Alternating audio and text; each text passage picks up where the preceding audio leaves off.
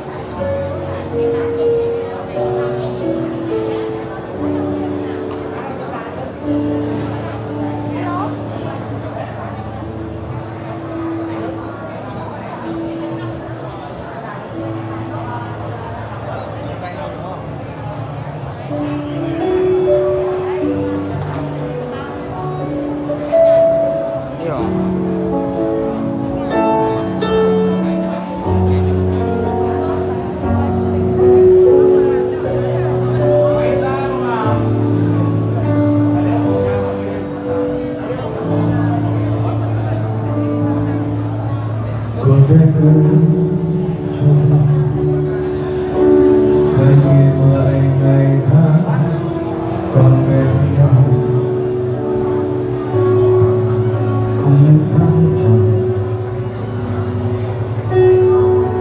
sao không với